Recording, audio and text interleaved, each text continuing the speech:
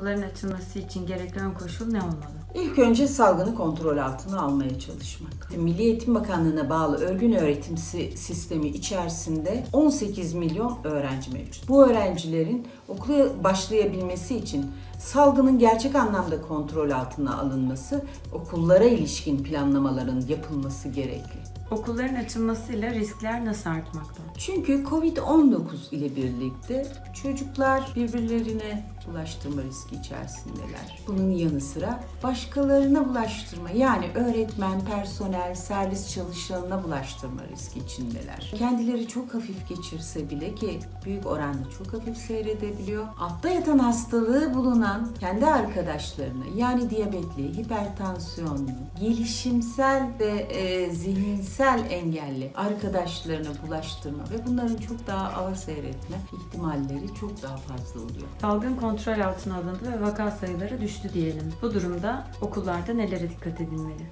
Birincisi fiziksel mesafe. İkincisi solunum hijyeninin sağlanması yani maske. Üçüncüsü el hijyeninin sağlanması. Fiziksel mesafe ne kadar olmalıdır? Fiziksel mesafe iki öğrenci arasında bir buçuk metre olmalıdır.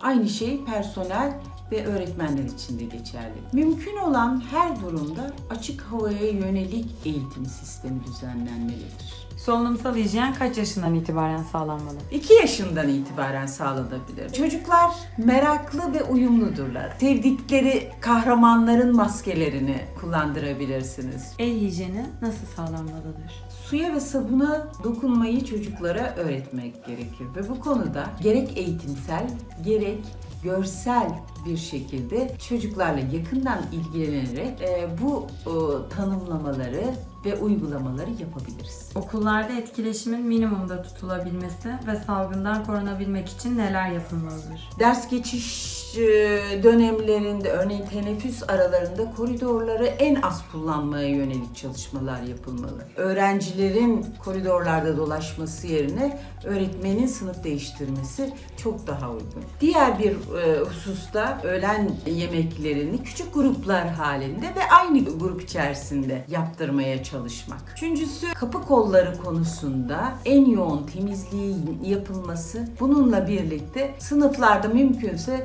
kapıların açık tutulmaya çalışılması. Bunun dışında yine öğretmenlerin ve okul sağlığı birimlerinin ailelerle temas halinde olup ateşi olan çocukların okula gelmemelerinin sağlanması ve onların kişisel günlük takiplerinin gerekirse eğitimsel takiplerinin yapılabilir olması önemli. Okul servislerinde nelere dikkat edilmelidir? Öğrencilerin aynı yerde aynı koltukta olmalarının iniş binişlerinde sağlanması gerekiyor. Her sefer sonrası dezenfeksiyon. Bunun yanı sıra öğrencilerin servis içerisinde maske takmalarının sağlanması. En sonunda çocukların iniş ve binişlerinde mesafelendirilerek iniş binişinin sağlanması gerekiyor. Aşılar konusunda bir öneriniz var mı? Özellikle mevsimsel güncellenmiş grip aşılarının yapılması çocuklar için çok önemli.